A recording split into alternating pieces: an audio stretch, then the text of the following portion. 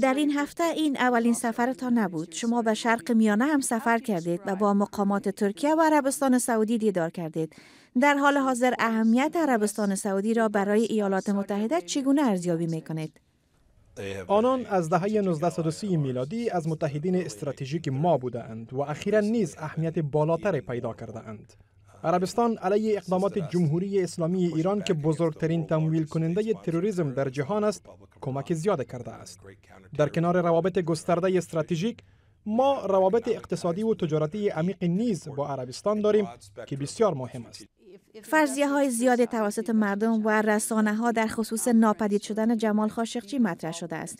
اگر در نتیجه تحقیقات ارتباط عمیقتر شاهزاده محمد بن سلمان ولیعهد عربستان و یا شاه عربستان در این قضیه ثابت شود با توجه به اهمیت استراتژیکی که عربستان برای ایالات متحده دارد امریکا چه کاری می تواند انجام دهد و یا باید انجام دهد؟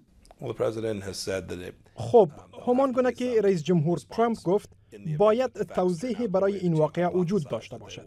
ما جوابهای احتمالی زیادی را در نظر خواهیم گرفت. اما در حال حاضر مهمترین چیز این است که منتظر انتشار حقایق در این رابطه باشیم.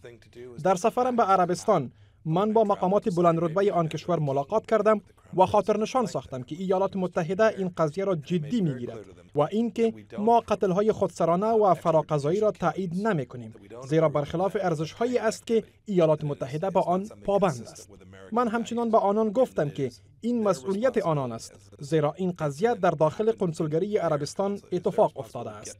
بنابراین این وظیفه عربستان سعودی است که یک جواب کامل و شفاف که همه دنیا ببیند ارائه کند و افراد را که در این قضیه دست داشتند شناسایی کند. ترکیه و عربستان با هم اختلاف دارند. این قضیه اختلاف این دو کشور را افزایش داده است. اهمیت استراتژیکی ترکیه برای ایالات متحده چیست؟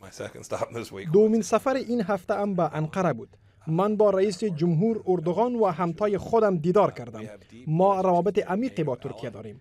آنها از متحدین ناتو هستند. ما مشکلات با آنها داشتیم.